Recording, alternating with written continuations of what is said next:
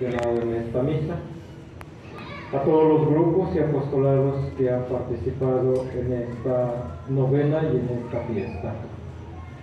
Hoy también quisiera darle las gracias a todas las personas que colaboraron para el adorno, las flores, tanto aquí como la cruz que tenemos allá afuera, la cruz que tenemos al frente, el altar. Yo creo que eso es lo bonito de nuestra iglesia, cuando nos sentimos con esa identidad. Si me gusta mi iglesia, participo. Si me gusta mi iglesia, doy mi servicio.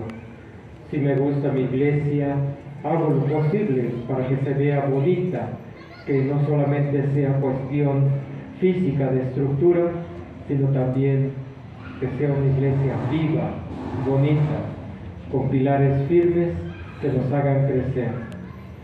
Yo creo que nos preocupa mucho la construcción del templo de nuestra parroquia, pero yo creo que también tenemos que construir la iglesia viva, poner bases firmes de una construcción como iglesia. Hoy también quiero darle las gracias a todos los grupos apostolados, a las capillas, Verbo Divino, Santiago Apóstol, Sagrado Corazón de María y Divina Providencia. Yo creo que esto es también un intento de que busquemos esa identidad, las diferentes capillas participando de nuestra parroquia, hacer crecer nuestra parroquia. De manera especial, también los ministros, lectores, los acólitos, todos los que dan su servicio aquí y también los coros que hoy han participado y durante este novenario acompañaron en el rezo, en el novenario y también en las misas. Agradezco su generosidad, su servicio y su entrega. Eh, hoy también tuvieron misa Padre Manuel y Padre Juan B. Entonces también agradezco que ahora en nuestra parroquia ya somos tres sacerdotes. Espero que los vayan conociendo, porque yo llevo cinco años y cuando me ven jugando con el turco, me dicen, Señor, Señor, ¿no está el cura? Y espero que no solamente sea confusión, ¿verdad? De aquí, porque también yo escuché que en Semana Santa, en Cananea sección 1, por ahí anda un falso que se dice sacerdote. Hizo confirmaciones que solamente le corresponden al obispo, pero la gente como ese falso no pide pláticas, no pide requisitos, ah, nos gusta lo más fácil, pues por allí se fueron y por ahí están con uno que no es sacerdote y no está reconocido. Yo tengo su nombre, pregunté en Iztapalapa con el obispo, ¿lo conoce señor obispo? Preguntamos a la arquidiócesis, ¿conocen a esta persona? No. Y yo creo que para no confundirlos, tenemos que conocer nuestra iglesia. Por eso decía yo, bases firmes. Si buscamos lo fácil, lo que no nos cueste, pues alguien que nos hace el servicio rápido, sin formación, sin preparación, sin plática. Y lo triste es que después vienen aquí pidiendo su comprobante de esos sacramentos que no fueron ciertos. Nada más le sacaron dinero y después quieren aquí que yo les dé la boleta de bautizo. Yo creo que estamos muy confundidos. Yo creo que también queremos construir nuestra iglesia y sería bonito si lo hacemos con bases firmes.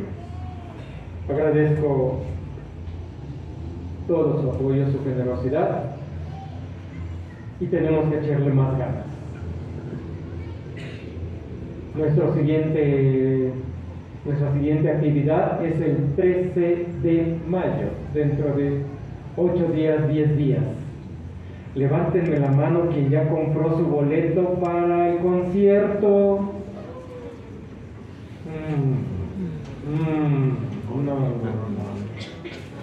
Ahí tenemos a los servidores que nos van a ayudar ahorita. Nadie se va sin su boleto, por favor. Si, no les gusta a ustedes, compren el boleto para su mamá. Ya viene el 10 de mayo, regálenle mamá. Vete a escuchar este concierto que te ayude en tu fe. No que el 10 de mayo la ponen a trabajar y hay pobre madre desde la mañana dando de comer a los hijos y luego a los nietos y luego a las visitas, no la dejan descansar. Se merece un premio y entonces pueden comprarle su boleto para que participe en este concierto. 13 de mayo vamos a tener desde las 2 de la, desde las 2 de la tarde. Pueden llegar desde las 2 porque como hay mucha gente, a lo mejor no nos dejan entrar a tiempo. De dos, a partir de las dos vamos a abrir la puerta para los que gusten entrar. Vamos a tener invitados previos a Carlos Marco López, que es el que va a darnos este concierto de adoración. Va a haber unos grupos antes y también vamos a tener aquí venta de alimentos. Día sábado 3.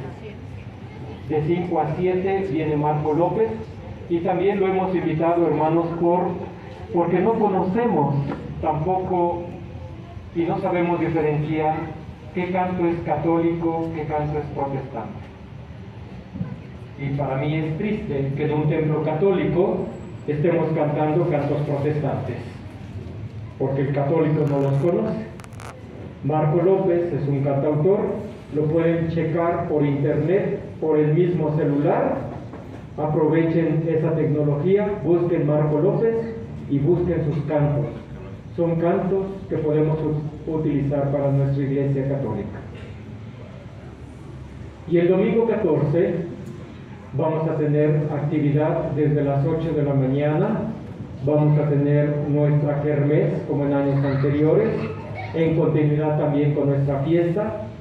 Habrá una sola misa Domingo 14 de mayo, una sola misa a las 10 de la mañana.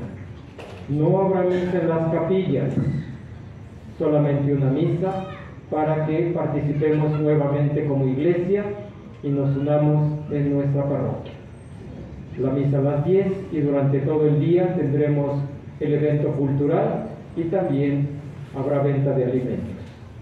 Espero que podamos sentirnos también identificados con esa parroquia y de esta manera podamos participar. Los boletos del concierto van a estar ahí nuestros hermanos a la salida y esperemos que participen de esta actividad.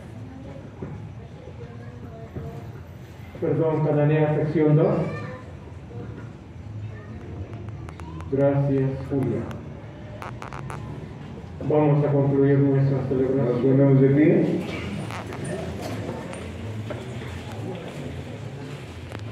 Vamos a hacer la oración, vamos a recibir la bendición y después voy a estar en la parte de allá afuera para darles la bendición a todos los que trajeron sus cruces, sus imágenes, sus veladoras. Les daré la bendición en esa parte de allá, rumbo a la salida. Oremos. Señor nuestro Jesucristo, fortalecidos con este alimento santo, te pedimos que conduzcas a la gloria de tu resurrección a quienes redimiste por el madero vivificante de la cruz. Tú que vives y reinas por los siglos de los siglos. Amén. Y que el Señor esté con ustedes.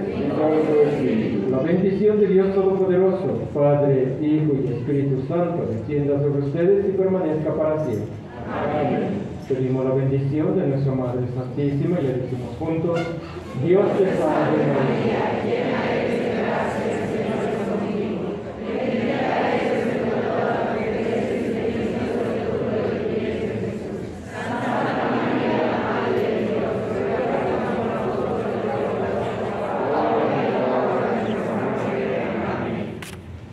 Seguimos pidiendo por nuestros hermanos difuntos, los que hemos mencionado en esta misa, los que llevamos en nuestro corazón. María, Madre de Gracia y Madre de Misericordia. Dale, Señor, el descanso eterno. Que descansen en paz. Recordamos la frase que tenemos aquí al frente por nuestra festividad. Te adoramos, oh Cristo, y te bendecimos. Por tu santa cruz, redimiste al mundo y a mi pecado. Te adoramos, oh Cristo, y te bendecimos. Por tu santa cruz, redimiste al mundo y a mi pecado. Te adoramos, oh Cristo, y te bendecimos. Por santa cruz, redimiste al mundo y a mi pecado. Hermanos, nos vamos en la paz de Cristo. Nuestra misa ha terminado. Que viva Santa Cruz. Que viva nuestra Iglesia Católica. Que viva Cristo en nuestros corazones.